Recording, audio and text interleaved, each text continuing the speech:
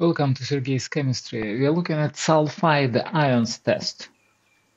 First is cadmium carbonate test, but let's look at our reagents. Sodium sulfide, one of few soluble sulfides.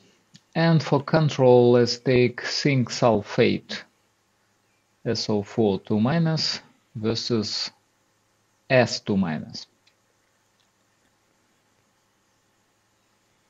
Cadmium carbonate is a white powder insoluble in water and the test is just addition of a tiny pinch of cadmium carbonate. Here, zinc sulfate, no change, it remains white.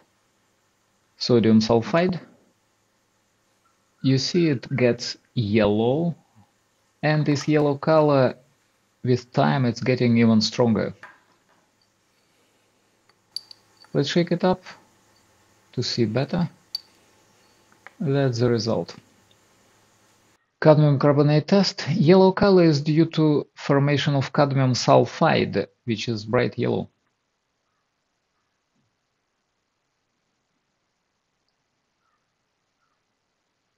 Next one, lead acetate test. Again, we use the idea that many sulfides are insoluble and lead, uh, lead sulfide would be black. You take the same pair of chemicals,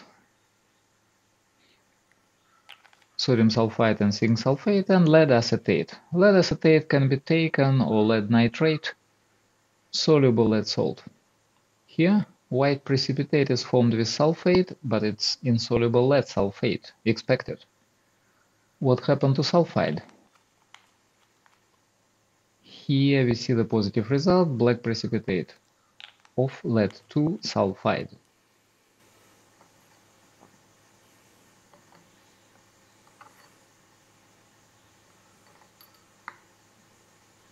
Okay, let's state test for sulfide ion, formation of black precipitate. Next one, sodium nitroprusside. Sulfide on the right, sulfate on the left. What is nitroprusside? This is a complex of iron 3 with 5 cyanide ions and one nitrogen monoxide molecule.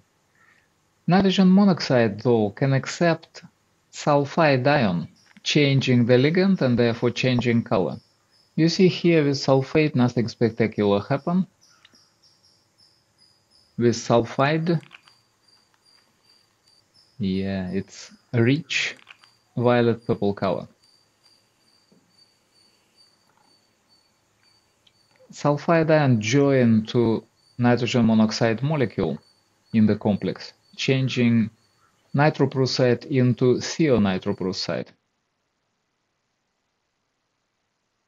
Formation of violet purple color. Let's run three tests at once without bothering with the controls. White powder of cadmium carbonate changing into yellow.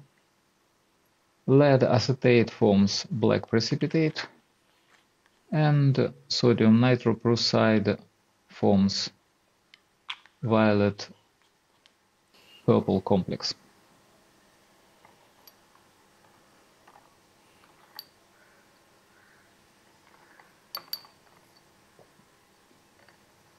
Thank you for watching. Please subscribe to the channel and see you next time. Bye.